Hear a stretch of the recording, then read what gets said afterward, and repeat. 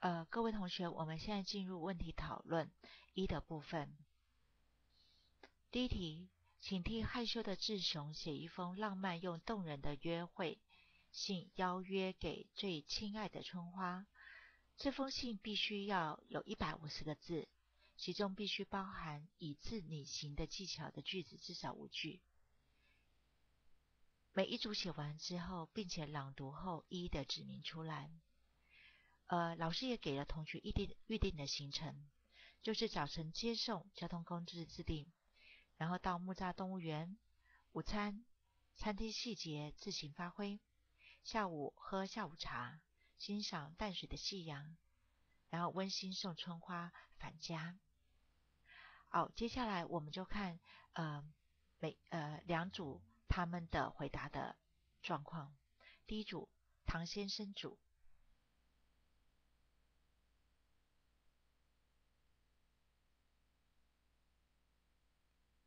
这组同学提到的，只要是已知拟形的部分，他都用夸弧来表明。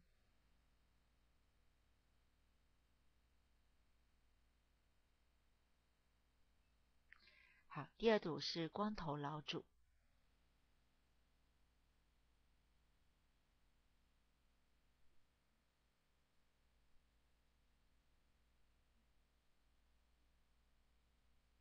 好，我们看下一题，请根据以下的情况，按照会意字的原理来创造一个字。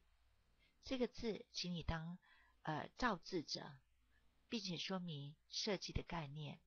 例如，呃，这个门里面有一个火，一个女，就是女生发火了，在屋子里面，是因为太晚归，所以妈妈非常非常的生气，因此我们造了这个字。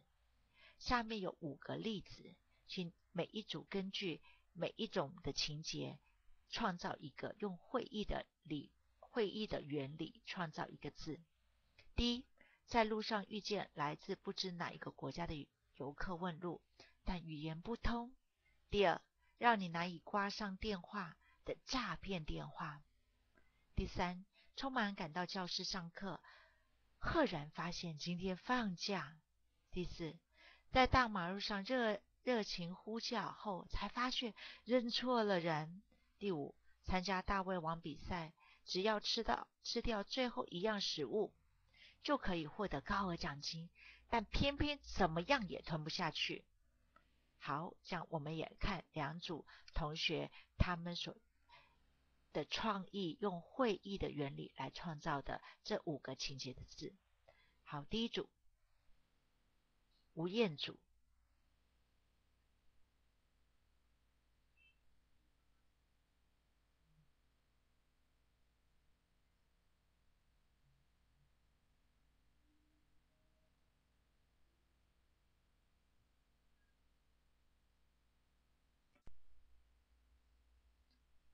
接下来我们看腰力发电厂主对这五个情境。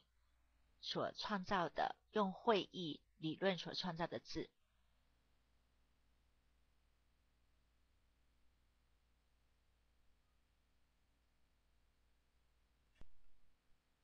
第三题，以下图中是一个画名，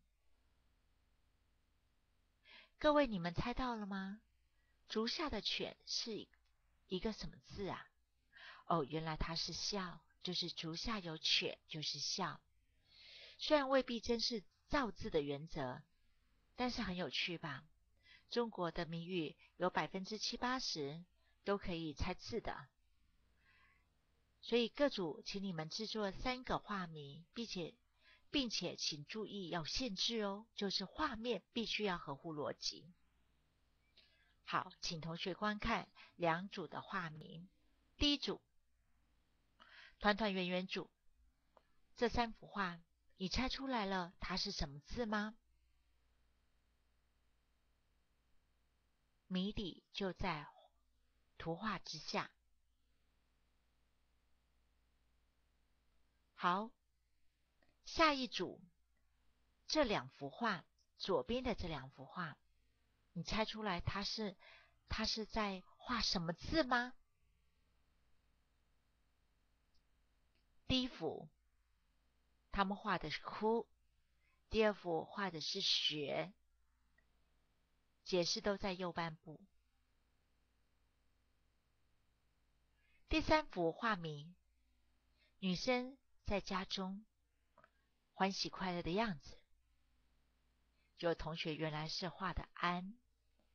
好，各位同学，你们觉得这几个题目很有趣吧？欢迎你们，也期盼你们自己来动手动脑做做看。好，再见了。